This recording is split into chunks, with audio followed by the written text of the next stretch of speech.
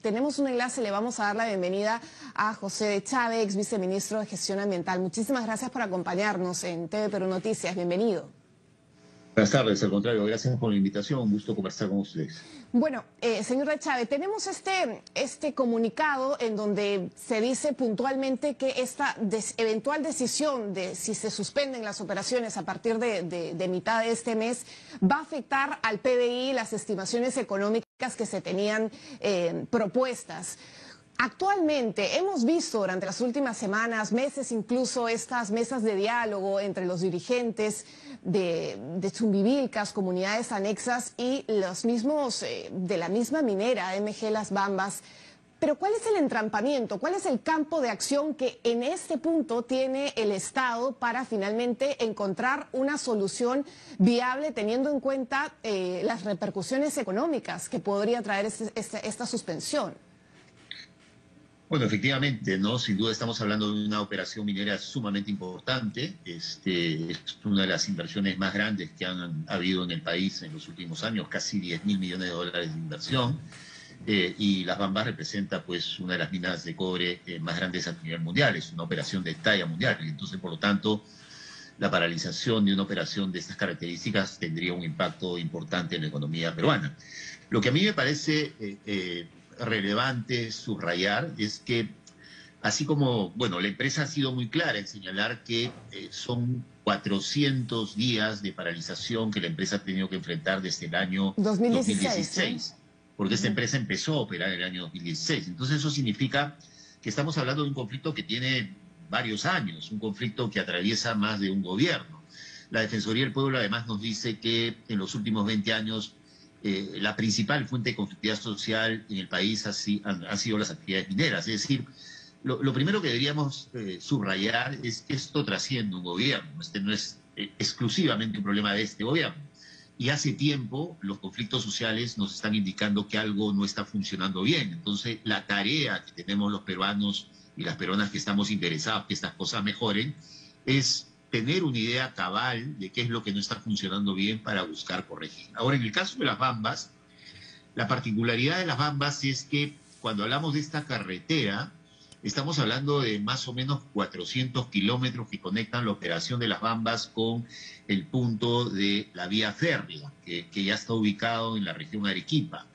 Entonces, en 400 kilómetros, pues hay más de un centenar de comunidades, de poblaciones, de caseríos, y, con demandas, eh, justamente apuntando eso, señor de Chávez, y con demandas eh, diferenciadas también. Por una parte tenemos demandas que quieren formar parte de la cadena de producción a través del transporte, tenemos otras demandas relacionadas a la calidad de vida de estas comunidades. ¿Cómo encontrar un punto eh, común para finalmente poder echar a andar el barco de la minería que finalmente es, uno de los motores de nuestra economía? E, en este punto ya usted tiene toda la razón, lo ha, lo, ha, subrayado muy bien, es decir, con demandas diferentes, con demandas diferenciadas, porque una cosa es lo que pasa en la provincia de Cotabambas, donde está la unidad de producción de las bambas, y otra cosa es lo que está pasando en la provincia de Chumbivilcas, que es en Cusco, a 200 kilómetros de la operación de las bambas. Y ahí hay dos problemas distintos. Este, hoy en día el problema central de Chumbivilcas gira en torno al tema de la carretera, los impactos de la carretera y por supuesto una serie de demandas económicas, laborales, de formar parte de la cadena de servicios de, la empresa. Pero ahí yo tengo la sensación que todos los actores tenemos que asumir, digamos, parte de nuestras responsabilidades. En primer lugar, eh, este, por supuesto, el Estado tiene la obligación de jugar un rol de árbitro, de estar más presente, con una lógica mucho más preventiva, algo que no ha pasado en los últimos 20 años, para no apagar el incendio cuando el incendio ya se desató, sino actuar, intervenir mucho, mucho antes. Pero además también la empresa tiene una serie de obligaciones, porque en el caso del conflicto actual en Chubivilcas, que en medio de todo eso está la carretera, yo sí quiero subrayar que el organismo de evaluación y fiscalización ambiental eh, le señaló con mucha precisión a la empresa que tenía que elaborar una modificación del estudio de impacto ambiental para precisamente definir cuáles eran los impactos que sí los hay del transporte pesado por esa, por esa carretera. porque una zona es una, una cosa es ser zona de influencia de la operación minera, pero otra cosa muy distinta es ser zona de influencia de la carretera, que forma parte de la actividad minera, pero no es pues la fase de producción. Entonces, y ahí las poblaciones creo que también tienen la obligación de que sus demandas sean demandas, digamos, justas, que sean demandas realistas, no maximalistas, para lograr acuerdos. Entonces, por lo tanto, yo sí siento que hay una responsabilidad compartida para encontrar un escenario que es complejo, difícil, por esta particularidad de los 400 y pico kilómetros que involucran a tantas poblaciones, para encontrar salidas. Bueno, finalmente lo, que tenemos eh, por parte de esta, de esta MG, MG Las Bambas eh, y lo que esgrimen eh, lo que esgrime aquellas personas que están eh, ya con una mirada más eh, en cuanto a la minera, la responsabilidad social, se basan en cifras, ¿no? Porque finalmente se ha transferido más de 358 millones a, los gobiernos regionales, a los gobiernos locales, y finalmente la ciudadanía de a pie quiere entender dónde se encuentra este entrampamiento. ¿Por qué no se hace tangible este, esta, esta cifra, esos millones de soles en la calidad de vida de estas, de esas comunidades que pueden tener eh, demandas completamente válidas. Ya lo mencionó usted.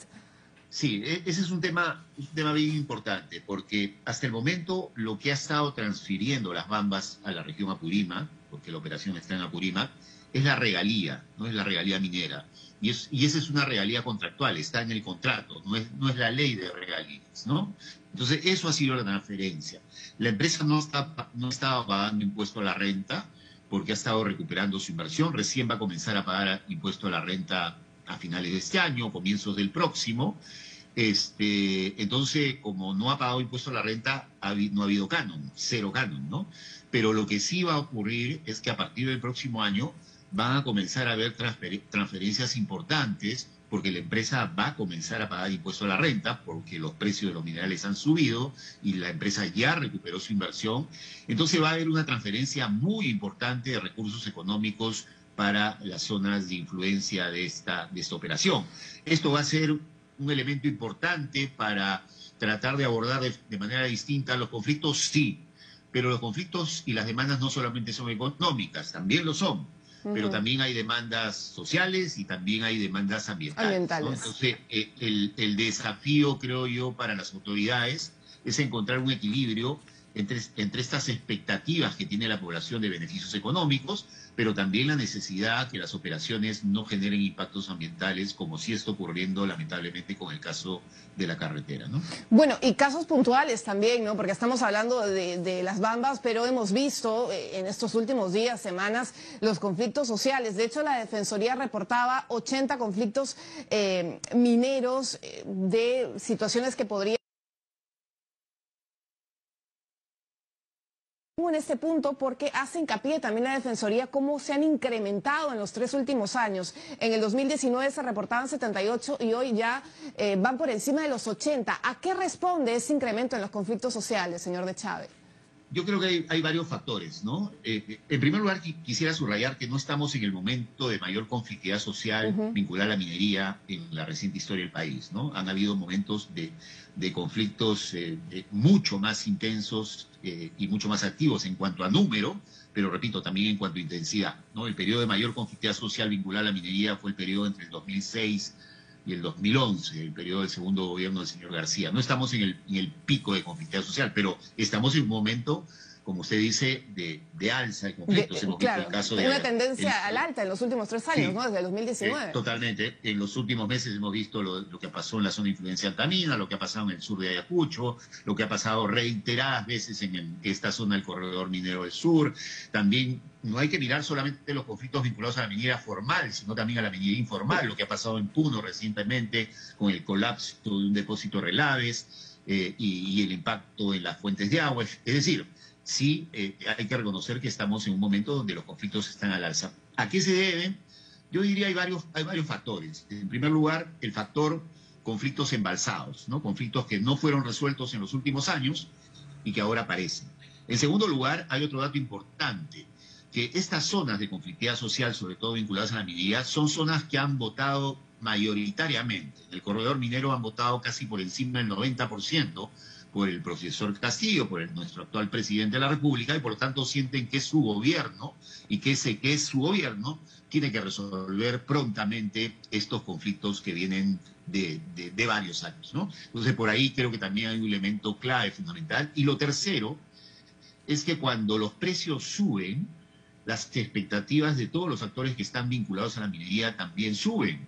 ¿No? Este, suben las expectativas de las empresas porque quieren acelerar más sus procesos productivos, porque es una coyuntura que les va a ser muy beneficiosa en materia económica, pero también suben las expectativas de las poblaciones locales y creo que hoy en día también está en juego ese, esa, ese cruce eh, de expectativas distintas este, que tienen que ser solucionadas. Y el gran problema que arrastramos, repito, de los últimos 20 años es que el Estado peruano, no estoy hablando de los gobiernos, estoy hablando del Estado peruano, no ha tenido la capacidad de enfrentar estos conflictos y de atender estas lucecitas rojas que significan los conflictos sociales que nos están diciendo que hay que hacer ajustes, que hay que mejorar, las políticas públicas, que el Estado tiene que recuperar confianza, que el Estado tiene que estar presente en los territorios y no tiene que estar ausente.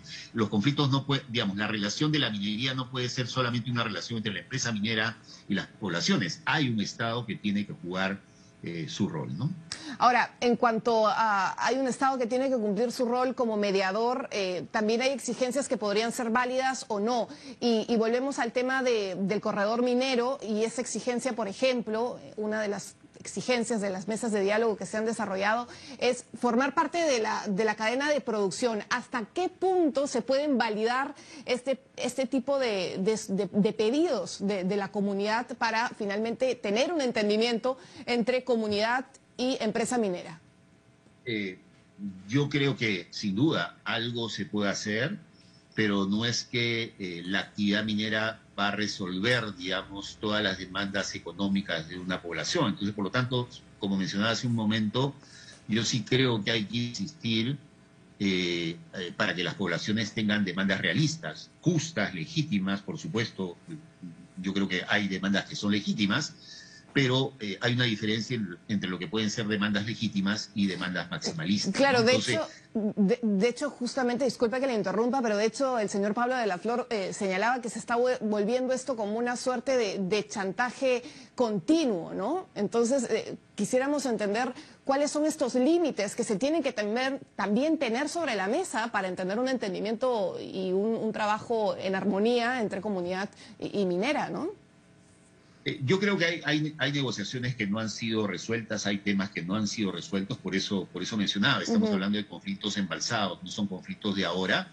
Y también al mismo tiempo hay que reconocer que, eh, y eso, bueno, tengo muchos años trabajando en zonas de influencia con la actividad minera, es que para las poblaciones está claro que si ellos no hacen algo que motive la atención de los centros de poder político y económico, nadie los atiende insisten, vienen a Lima 20 veces, me ha, tocado acompañar a dirigentes, no les abren las puertas de los ministerios, no les abren las puertas de autoridades que deberían atenderlos.